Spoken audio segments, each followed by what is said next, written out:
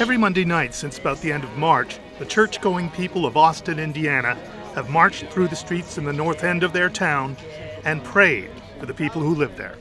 Revive this community, oh God. God, you're the only thing that can bring hope, oh God.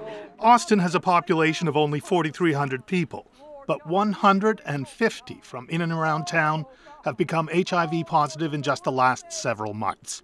The biggest HIV outbreak in a small, rural American town ever.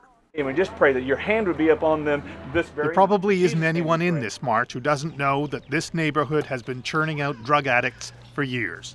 Users hooked on prescription painkillers, sharing needles and diseases HIV, hepatitis B, hepatitis C. Take back this neighborhood. I lived here when I was a little girl, and it was a whole lot different than it is now. That's for sure. Faith is big in Austin. It has at least 35 Christian churches. But there is now also a billboard on the I 65 just outside of town that encourages HIV testing. Rolling into Austin, you're immediately shown the way to the Outreach Center, where you can get an HIV test. Or get clean needles at the Needle Exchange, something Indiana had outlawed until the HIV outbreak scared the state into suspending its anti drug paraphernalia law. For a while. This has been the place to come since I was getting, since I started getting high. I started Brandy wouldn't give us her last name, wouldn't let us show her face, but she wanted to tell her story. Have you been tested? Yes, When?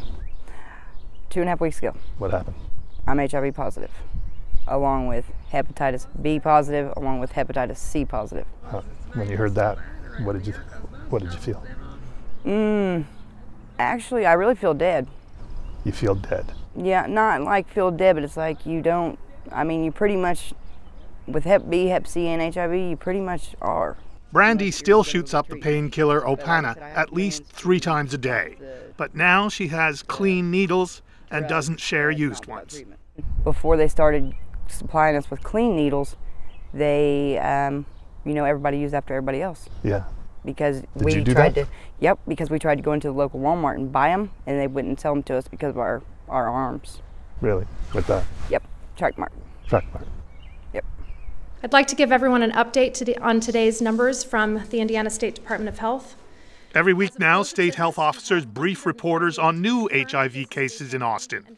Dr. Jennifer Walthall seems to have been expecting an outbreak like this somewhere, someday. This is a, a culture that has been longstanding uh, here in this community, and we know in many others. Austin's only doctor, William Cooke, says the HIV outbreak was inevitable because of the drug addicts' needle sharing. And that was all inevitable because of the poverty and lack of opportunity. I'm not sure that, that Austin is really that, that different from a lot of towns across rural America. You know, I worry about the other people in the surrounding area that uh, are living similar lives as the people here. You know, what are we doing for them? Are we doing enough? And my guess is that we're not, and we're failing those communities just like we've failed Austin. Linda Thomas was a typical casualty of IV drug use through most of her teens.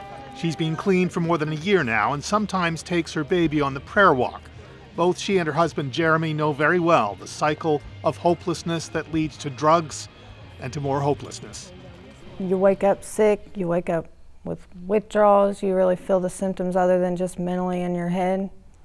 Um, you get the sweats, you're restless, your legs hurt, sometimes you throw up, uh, get real bad pains in your stomach. I mean, it's just a miserable feeling. It's like Satan's taking over your body. No It's, uh, control. No control, it's wicked. And uh, It's like that every day. yeah, Every day you wake up. yep. Neither Linda nor Jeremy is HIV positive, but not long ago they were both pretty sure their futures would only be darker and more desperate than their pasts. it's painful to think about. It, it makes you quiver to think of the things you used to do. And it's amazing to know that I overcame that. And I overcame that with Christ. It is simple, but it's not easy. What becoming church people did for them was erase the sense of loneliness and worthlessness they had been trying to escape through drugs. People need to know, even though Austin is consumed with drugs right now, um, they're people, you know, they're God's people. And they're me, they're you. They're just people that got led into sin and they got consumed in their sin and they're lost and they need us to get out.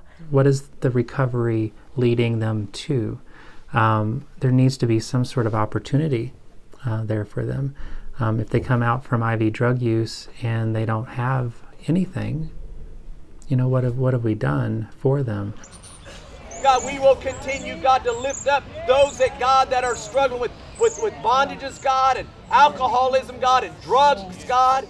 The HIV outbreak has turned a spotlight on Austin, and that has brought help from as far away as the Centers for Disease Control and Prevention in Atlanta. No tears. It's not unusual to hear people call that a blessing in disguise or an answer to their prayers. Keith Boag, CBC News, Austin, Indiana.